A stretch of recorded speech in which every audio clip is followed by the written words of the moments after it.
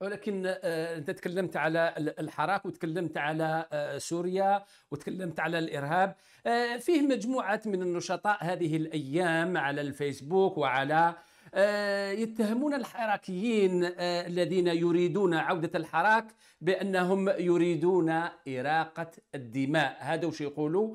وكما تشهد هذه الأيام كذلك في الإعلام التلفزيون سواء الرسمي أو التابع له آه، ترويج للإرهاب وأن الإرهاب قد عاد من جديد آه، هذا ال هذا ال آه، هذا التحرك وهذا التصريحات وهذا ال- كيف تفسرها أنت؟ هل صحيح أننا يعني ذاهبين إلى أيام حنشوفوا أيام بن طلحة وأيام الرئيس أم آه، تحضير آه، الرأي العام ورأي الشعب لاشياء أخرى من النظام؟ شوف هما آه السؤال في شقين في شق. أنه بعض الناس يتهموا الحراك بأنهم إذا أصروا على الحراك هم يريدون خراب الجزائر إلى آخره وفي سؤال آه عودة آه لغة ونغمة لأنهم و ي- يربطوا الإرهاب بال- بالعودة الحراك صحيح لا بالعكس بالعكس. الجميع يعرف سلمية الحراك كم كانت سلمية. الجميع يعرف وتفاجئوا بأن الجزائريين اللي كانوا كثير من الناس آه، ربما ينفجر فيك بعد زوج كلمات أو ثلاث كلمات تلقاهم أنهم يكونوا مرات بمئات الآلاف والاكتظاظ ومع الناس كلها آه، متسامحة مع بعضها وكلها متعاونة مع بعضها وشافوا الناس كيف أن بعد نهاية نهاية المظاهرات في الغالب ما يلقاوش آه، يلقاو الأماكن نظيفه آه، وشافوا الناس شعارات وشافوا الناس من أن المسؤولين مسؤولي العصابة سواء كانوا مدنيين مثل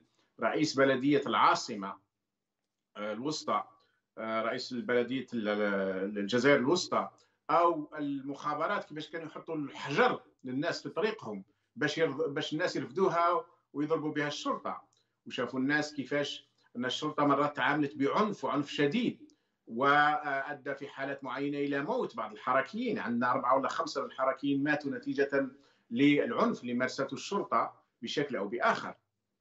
مع ذلك الحراك كان دائما رده سلمي وهنا اللي أضعفهم نعرفوا أنهم خرجوا بلطجية في عدة مدن في عنابة في قسنطينة في وهران في مصغانم في سكيكدا في عدة مدن خرجوا البلطجية والشعب دائما تعامل بنضج كبير وما كانش يرد على العنف لا اللفظي ولا الجسدي ولا ف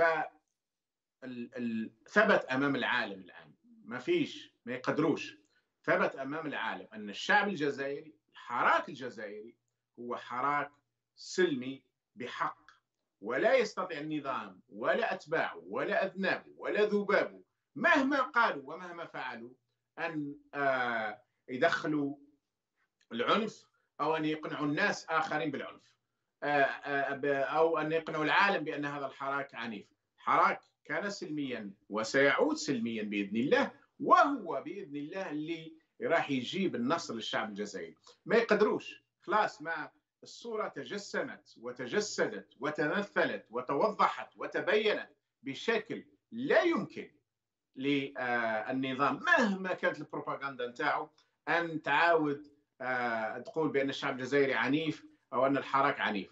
أي عنف معروف المصدر تاعو ومعروف الجهة نتاعو وهي نظام الحكم إما مباشرة أو عن طريق اتباعه واتنابه